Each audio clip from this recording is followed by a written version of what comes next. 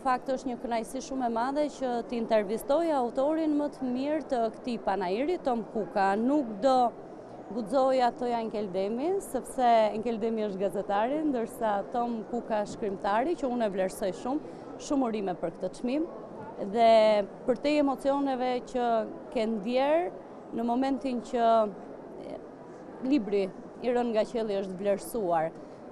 Si kanë qenë emocionet e para, me siguri dhe ndarjen e këtij gëzimi me familjarë apo miq të tu të zemrës. Se kjo është shumë e rëndësishme, një krijesë e juaja vlerësohet. Faleminderit, në radhë të parë dhe kam nevojë akoma për pak kohë që të mësohem, sepse ende nuk e besoj, po ashtu siç premtova në momentin që e mora çmimin, Ika me vrap në shpi dhe iu thashë atyre të shpisë, sepse dhe ata po e merrshin vesh nga televizori, s'ku i kisha thënë gjë dhe për, për këtë punë. Ehm, më pëlqen shumë që I rënë nga qielli është vlerësu, sepse është një, është një libër që e kam shkrujt me, me, me goxha kujdes dhe për për një periudhë relativisht të gjatë kohe. Nuk është një libër i shkrujtur kështu një tekë e momentit. Është historia e një tranzicioni shumë të vështirë të Shqipërisë, sidomos periudhës më të errët të këtij tranzicioni atyre viteve 97 ku bëhen bashkë personazhe të ndryshëm si dikush që ka thjesht një pamje gati të padukshme në sytë e të zakonshmëve, pra një njeri që ne nuk e shohim apo nuk e vëmë re teksa kalojmë rrugën e deri tek diplomati. I ke bërë bashkë këto personazhe në të njëjtin roman. Po sa të ka lodhur, sa të kanë dalë duarsh herë pas here këta personazhe, teksa ti i krijoje? është shumë e vështirë të të mbledhësh jo, jo njerëzit normalë, po të marrët t'i mbledhësh. dhe të rrëfesh tragjikomedinë e tyre, sepse nuk janë thjesht tragjikë dhe normalisht janë banditët, janë cubat e Shqipërisë. Por, pavarësisht se ndoshta në një moment të caktuar duket e vështirë, ka momente që jam zbavit po duke kujtu dhe atë lloj periudhe, të cilën unë e kam jetu jo thjesht si një qytetar i këtij vendi, por e kam jetu dhe si gazetar, dhe kështu që nuk referencat i kisha goxha të forta. Është gati gati ironike t'ua rrëfesh ndoshta edhe brezave të të ardhshëm, atyre që nuk e kanë jetuar atë kohë, se si shqiptari kthehet kundër shqiptarit. Dhe në një farë mënyre e vetmja ose shpëtimi i vetëm për ta bërë këtë përmes letërsisë, ndonjëherë është edhe ironia. Në mënyrën se si shkruani, në stilin tuaj të krijimit nuk mungon, nuk mungon edhe tek I rënë nga qielli, është Një si tu ash i parë që karakterizon Tom Kukën si shkrimtar, apo është një mënyrë për ta rrëfyer këtë ngjarje përmes fikshonit, po njëkohësisht një ngjarje të vërtetë një tranzicion që ende është i dhimbshëm për shqiptarët? Ky jam unë fund fare, unë kështu jetoj përditshmërinë time, edhe në momentet e vështira, nuk e di pse gjej gjithmonë një anë gati gati cinike të, të asaj që ne kalojmë. Dhe kjo në mënyrë ndoshta edhe të pandërgjegjshme është përcjellë në, në faqet e këtij libri. Ë duhet të dimë një gjë, aty ku ka pas kaos, ka pas gjithmonë edhe të marrë. Aty ku ka të marrë, ka edhe humor të zi. Është shumë e bukur kjo. Dua të ndalem tek një nga pasazhet e këtij libri, ku shkruani se popujt jetojnë me kujtime, ama shqiptarët nuk duan që të mbajnë mend edhe ne kemi thënë shpesh së paku këto vitet e fundit që memoria jonë është shumë e shkurtër. E kemi diskutuar ndoshta edhe tek uh, Ora e ligë apo romane të tjera tuajat ku theksi ose rëndësia që i jepni kujtesës pa diskutim është e madhe, sa e nevojshme është t'i kujtojmë këto ngjarje dhe ndoshta edhe të shënjuara përmes letërsisë që shpeshherë karakterizohet nga fiction, jo e vërteta, jo dokumentet, jo historia, të mund të bëjmë këtë thirrje për kujtesën kolektive që të mos harrojmë të shkuarën. Ne e kemi këtë, këtë ves që herë pas here harrojmë të shkuarën e afërt, Dhe prandaj më vonë nuk kemi të drejtë të ankohemi pse pjellim diktatorët. Në rastin konkret, 97-a nuk është ndonjë, ndonjë ditë e largët, dhe unë do e rekomandoja veçanërisht të rinjve, atyre që kanë lindur në ato vite, ose pak më herët, ose pak më vonë, që të kuptojnë se ku janë ngjizur, në mënyrë që mos të ngjizin një të ardhme të ngjashme me atë ku ishin ngjizur ata.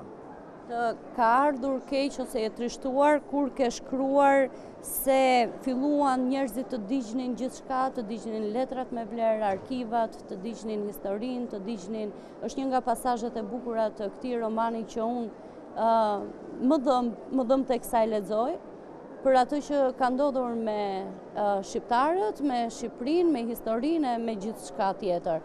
Është një nga momentet që unë e kam përjetuar shumë Jeni trishtuar kur e keni shkruar romanin apo ishin gjëra që duhej thënë edhe shoqëria do duhej t'i lexonte?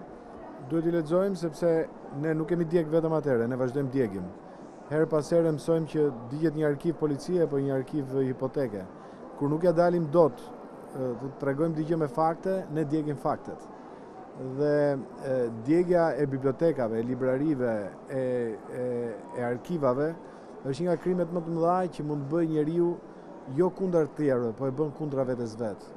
Dhe kjo është më tepër se trishtim. Kjo është kjo kjo është një dramë dhe një tragjedi e përmasës kombëtare. E keni shkruar këtë libër për të dhënë mesazhe, për të bërë shoqërinë që të reflektojë dhe a mendon se libri a ka këtë pushtet sot me lexuesin e sotëm në gjuhën shqipe? Jo, unë nuk jam moralist, unë nuk e di çfarë pushteti ka libri. Por libri nuk mund të vdesë. Në momentin që vdes libri, ka vdek kombi. Në momentin që ka vdek kombi, vdesim dhe ne bashkë me të. Prandaj unë kam për detyrë me rrëfy. Në qoftë se njerëzit e duan librin, pastaj kjo do m'u bëj zemra mal. Nëse jo, ok, por libri jeton më gjatë se ne. Sa e keni ndjerë dashurinë e lexuesit shqiptar gjatë këtyre ditëve të panairit? Nuk po flasim vetëm sot, meqenëse pak orë më parë jeni shpallur autori i vitit, se mbase dashuria shtohet edhe me çmimin edhe lexuesit pa diskutim kanë një konfirmim pak më shumë për të, për të blerë librin, po flasim për këtë rrugëtim gati tre ditë në panairin e librit, ju kemi parë në stendën ku keni botuar veprën tuaj, Edhe sa e keni ndjerë që lexuesi ju njeh, ju do, ju vlerëson, lexon. A lexojmë ne sot? Uroj që librat që ata marrin t'i lexojnë. Dot nuk e di, nuk i rri mbrapa gjithkujt, por të gjithëve u kam dhënë të njëjtën porosi. Mbasi ta mbarosh, më shkruaj, më thuaj ndonjë vërejtje ndonjë gjë. Jo për të provuar që po e lexojnë apo jo, po dhe për të vendosur një bashkëbisedim mbas librit se jam kurioz të mësoj se si është këndvështrimi.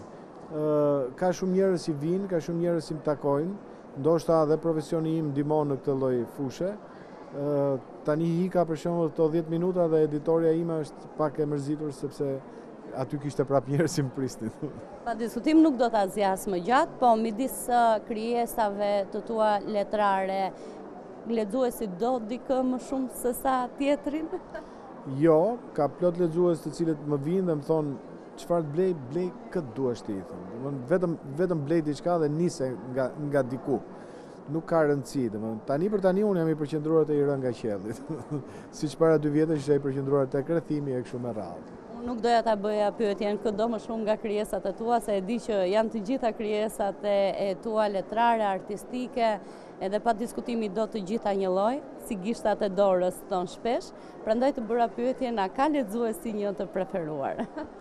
Ka plot që duan Gurët e vetmisë, kanë ka nga ata që duan Hidet edhe Flamën, që u pëlqejnë historitë pak policeske, një tjetër që është e Ora e ligë, domethënë ka plot lexues të Rrethimit, tashmë edhe të I rënë nga qielli, pra është E pamundur që unë të, unë ta ndaj këtë punë. Për mua mjafton që të më lexojnë edhe pak faqe. Domethënë kjo kjo është e rëndësishme, domethënë. Ke shkuar tek lexuesi i huaj, pa diskutim, lirshëm, besoj edhe më shumë pas çmimit uh, europian të letërsisë. Uh, si e parashikon rrugtimin e uh, I rënë nga qielli në gjuhë të huaj? Sot, përpara se të bëhet ceremonia e ndarjes së çmimeve, përkthyesja ime gjermane më kërkoi PDF-n dhe ia kam nisur dhe më tha do do flas me botues. Puna e saj, domethënë, por kam përshtypjen që dhe ky libër mund të mund gjejë botues. Por nuk është ky qëllimi, duhet të konsumohet njëherë në Shqipëri. Pastaj shohim edhe se çfarë do ndodhë jashtë Shqipërisë.